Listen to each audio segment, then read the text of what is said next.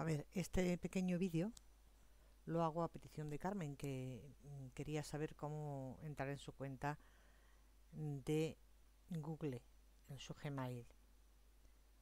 Minimizo el programa y os llevo. Primero abrimos el navegador. En este caso voy a empezar con Firefox. Al abrir el navegador nos sale nuestra página de inicio, que la podremos tener de una forma o de otra, pero tenemos que ir a a la inicio de Google. O sea, tenemos que ir a la página de inicio de Google. Si no la tenemos de Google, pues tendremos que buscar dónde la tenemos. Entonces aquí arriba pone iniciar sesión, Gmail. Si tú pones a Gmail, te va a pedir una serie de datos, pero lo normal es que inicies la sesión. Inicia sesión.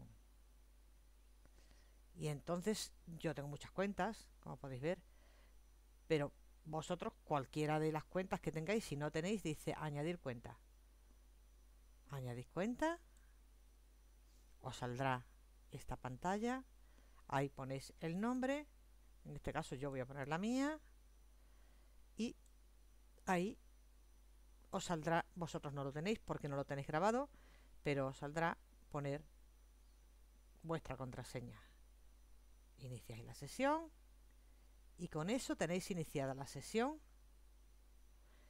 en todos y cada una de las cosas que os da Google. Y eso lo podéis bien ver aquí en el, en el Firefox, que por eso me gusta a mí, apretando estos pichitos que cuando los veis en cualquier sitio, teléfono o bien ordenador, significan todo.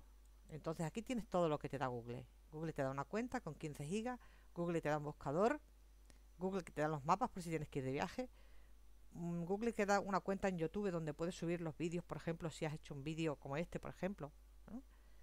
Para cualquier cosa, Google te da entradas eh, en cualquiera de estas cosas, en las noticias, el correo, un disco duro externo, un calendario que puedes poner todos los cumpleaños de tus primos, de tus abuelos, de tus tíos, de quien vosotros queráis. Y lo tendréis siempre en red aunque se os vaya el teléfono, seguiréis teniéndolo. Aunque se os vaya el ordenador, seguiréis teniéndolo.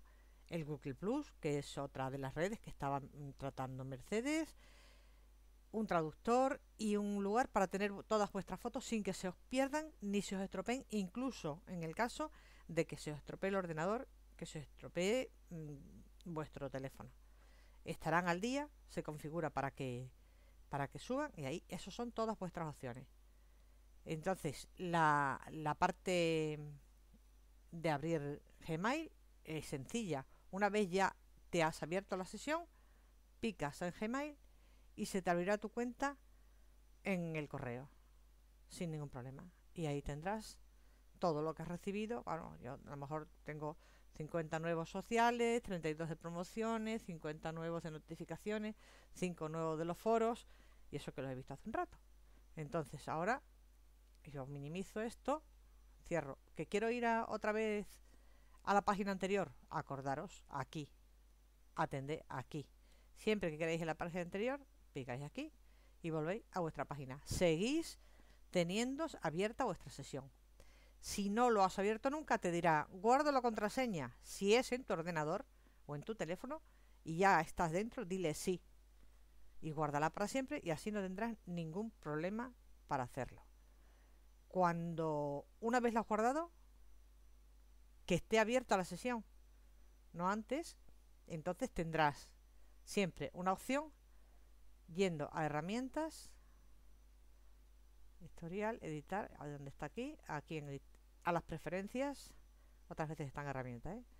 y entonces seguridad, y aquí tendréis guardadas vuestras contraseñas. Yo no voy a mostrar las mías porque lógicamente no se muestran, pero dais aquí y saldrán todas las contraseñas que tenéis guardadas. Como veis yo tengo aquí todas las contraseñas guardadas y no supone ningún peligro. Es más, mm, te las roban en red antes que en tu, que en tu ordenador. Va, pues ya está.